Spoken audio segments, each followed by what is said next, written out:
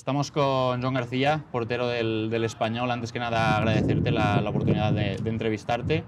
Eh, van a cumplirse 40 días de la visita del Huesca al Stage Front Stadium. Desde, moment, desde ese momento han pasado muchas cosas, entre ellas eh, seis titularidades, tres porterías a cero y sobre todo un sinfín de, de, elogios por parte de compañeros, de excompañeros, incluso del técnico.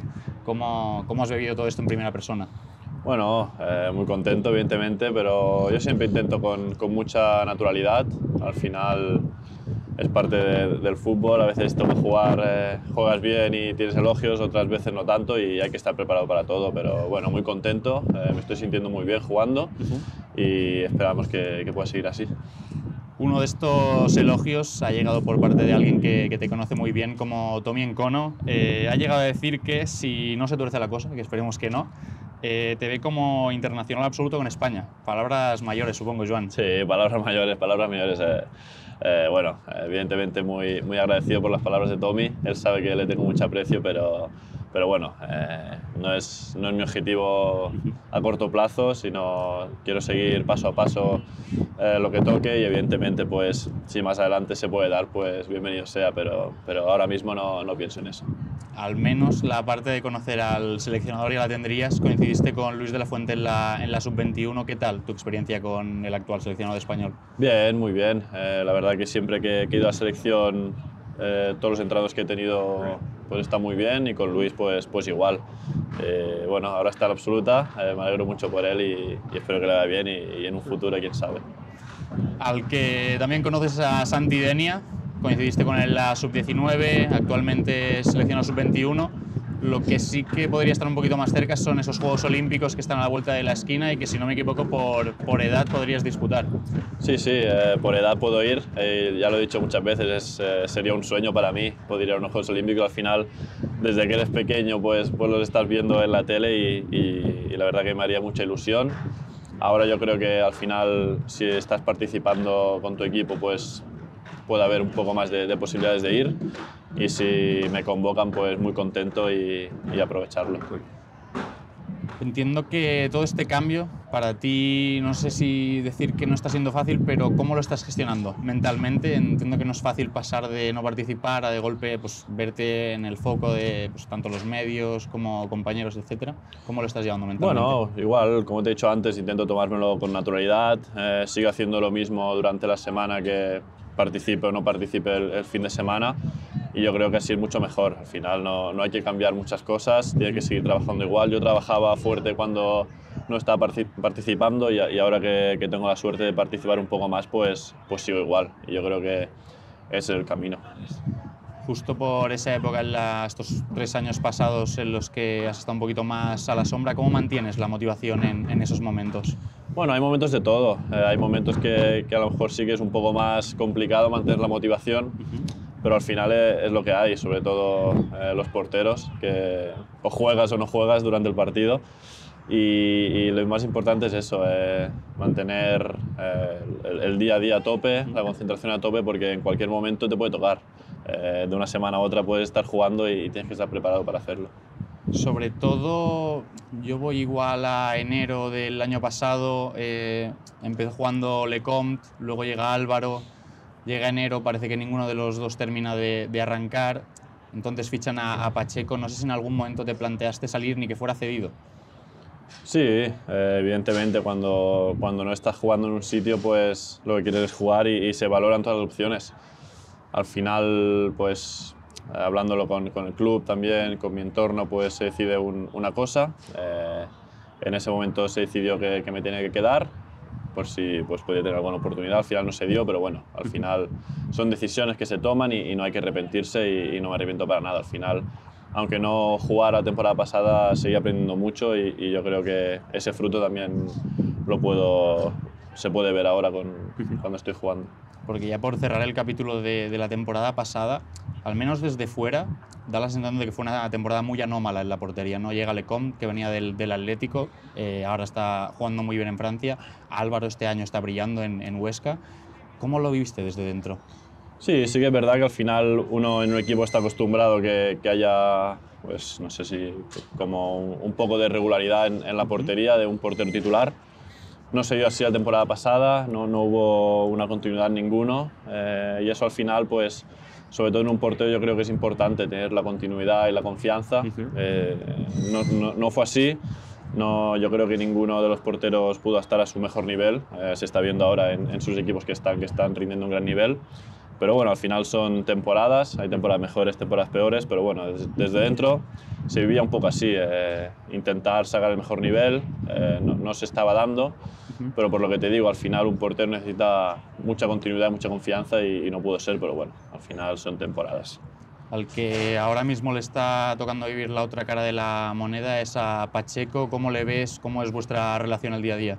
Bien, al final él tuvo una, una lesión en el tobillo, es lo, lo, que me permitió a mí eh, participar, pero bueno, al final Fernando es, es un, gran, pues, un gran portero y un gran profesional y nuestra relación evidentemente no, ha cambiado. Era buena cuando jugaba él, eh, sigue siendo igual de buena ahora que estoy jugando yo, así que en ese sentido no ha cambiado nada. Hablas de, de esa lesión suya por la que entras, pero hay un partido que para mí es clave, que es el de Tenerife. Es el segundo partido con Manolo al mando es el primer partido que, Fernando vuelve a la convocatoria. No sé si ese día tienes un poquito el miedo de, ostras, voy a perder la titularidad, no sé si Manolo te dice algo antes del partido. No, al final yo, bueno, me lo tomé como una semana más, eh, entrenar duro para, para, ganarse el sitio el fin de semana. Tuve la suerte de que pude jugar yo. Y, y eso será cada semana. Al final yo ahora tampoco pienso que, que vaya a jugar todos los partidos ni mucho menos, sino que estamos los dos porteros bien y, y, habrá que ganárselo durante la semana y que el fin de semana pues el entrenador sea el que, el que tenga los problemas para, para decidir quién juega. Hablando de, de Manolo, cuando acaba el, el, partido contra, contra el Albacete después de ese triunfo sufrido, lo vimos abrazarte en el campo. ¿Qué te dice en esos momentos? Bueno, esos momentos es, es, son momentos de, de, mucho, de mucha pasión, de mucho sentimiento. Tampoco sé muy bien lo que me dijo, pero bueno, eh, me felicitó, me felicitó por, por el partido. Al final también es un, una persona muy, muy pasional, que, que, lo vive mucho y eso también nos lo transmite. Y en esos momentos pues se transmite también y, y la verdad que sí que estuvo muy bien. Más allá de los resultados que de momento con, con Manolo parece que, que están funcionando, ¿qué ha cambiado desde, desde su llegada? Bueno, eh, a nivel eh, de fútbol, pues a lo mejor sí que estamos tomando un poco más de riesgos con balón desde atrás, sobre todo desde, pues desde la salida del portero también. Uh -huh. Y un poco lo que más ha cambiado creo que es eso, al final la, la, la intensidad que intenta transmitir es la misma, eh, defensivamente yo creo que están, estamos muy bien, al final estos partidos que, que, estoy participando yo con Manolo casi no nos crean ocasiones uh -huh. y entonces yo creo un poco la diferencia es esa, eh, un poco más de, nos tomamos un poco más de riesgos en, en salida de balón desde atrás.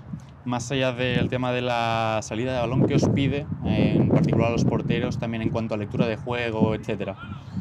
Bueno, sobre todo eso, ofensivamente con, con balón que ayudemos al equipo, uh -huh. que al final somos un jugador más que, que puede participar para esa salida y que a partir de ahí pues llegue en mejores condiciones el balón a, a, la parte de arriba, que al final es donde, donde hay que hacer daño de verdad. Uh -huh. Y un poco eso, también ayudar a, a, balones al espacio que puedan lanzar los rivales, porque presionamos bastante arriba, yo creo, dejando, dejando espacios y en eso tenemos que estar atentos y sobre todo en eso te diría. ¿También tú ahí notas eh, esta salida con tres centrales ahora cuando jugáis con dos? Sí, al final cada salida es, es un mundo, algunas eh, como portero tienes que tener más protagonismo y otras no, pero bueno, cada partido se plantea de una manera diferente. Al final no, no tenemos una, una, salida de balón concretada, sino que depende del rival, pues, pues podemos variar un poco. La imagen un poquito que ha quedado de ti en estos últimos días o semanas es esa imagen tuya achicando a, a Matos en, en Burgos. Es una parada poco habitual, digamos, una manera de salir poco habitual, pero que revisando vídeos he visto el de tu debut en Solares, tienes una muy similar no sé si nos puedes explicar un poquito esta manera de, de salir achicando como con los brazos tan en alto. Sí, bueno, eh, ya me acuerdo de Solares también, que es un balón que queda por ahí muerto. Exacto. Bueno, al final eso eh, lo utilizo cuando voy un poco forzado o veo que, uh -huh. que no voy a llegar a tiempo para, para, reducir bien de pie. Entonces intento ganar ese espacio, tapar todo, todo lo que pueda para que me dé el balón. Al final eso ya es que me dé o no. Por suerte las dos veces me, me dio el balón a mí y, y es algo que, que, lo tengo metido dentro ya, no, no pienso en hacerlo, sino que, que me sale solo uh -huh. y, y, de momento pues me ha salido bien. ¿Es más complicada la de Burgos o la que le sacas a Manu Fuster el domingo? Yo creo que es más complicada la de, la de Manu eh, contra Albacete. Al final es un, un tiro mucho más centrado que, que, que, tiene los dos lados eh, abiertos para pegar. Le, le, pasa por debajo las piernas a Víctor. Le pega muy bien. Sí, le pega muy fuerte. Al final llego ahí con la mano abajo, pero, pero sí que yo creo que es más difícil que la de Primos. También en poco tiempo eh, vimos a la afición, en este caso, celebrar esa parada prácticamente como un gol. Te has convertido en, en uno de los favoritos de, de los aficionados. ¿Qué les decimos a estos pericos que pueden empezar ya a estar preocupados por... Ay, van a venir a por Joan? no, eh, yo, yo desde, desde, siempre he sentido ese cariño de, de la afición y, y, la verdad que, que muy contento que, que, la afición esté conmigo y, y nada, que, que, por esa parte pues evidentemente no se preocupen, que yo estoy muy bien aquí y sobre todo que les pediría que, pues, que estén tranquilos y que nos animen hasta el final, que, que va a ser muy largo. Has dicho en más de una ocasión que tu sueño es el de jugar en Primera División con el Español, un sueño que estaría un poquito más cerca de conseguir un resultado positivo en, en Leganés. Eh, ¿Sensaciones para ese duelo por todo lo alto?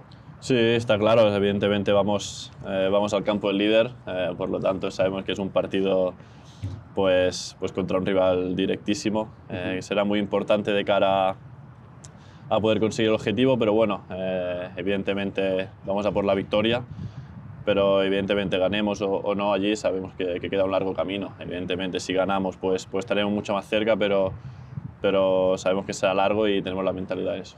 Entiendo que no, no firmamos el empate. No, no, no, nunca, nunca firmamos el empate, al menos al menos yo, yo creo que todo el equipo, nadie firma el empate. Evidentemente después el partido se da como se da, pueden haber situaciones que, que cambien un poco eh, eso, pero, pero no, no, evidentemente desde el principio vamos a ir a ganar.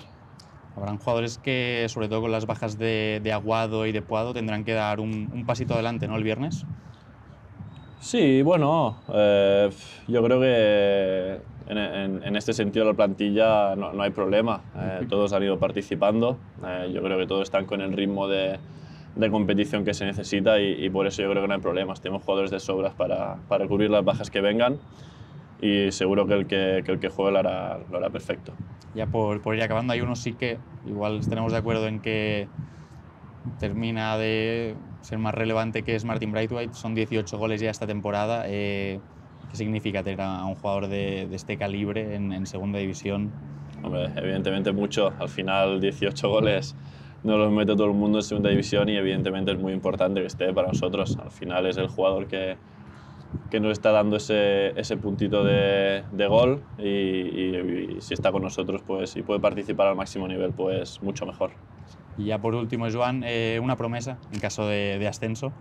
Bueno, no me gusta mucho a mí eso de las promesas porque después me arrepiento, pero bueno, que sé, lo típico, a lo mejor teñirme el pelo o algo así, yo, yo lo dejaría por ahí, sí. De blanquiazul. Vale, blanquiazul. pues oye, guapo.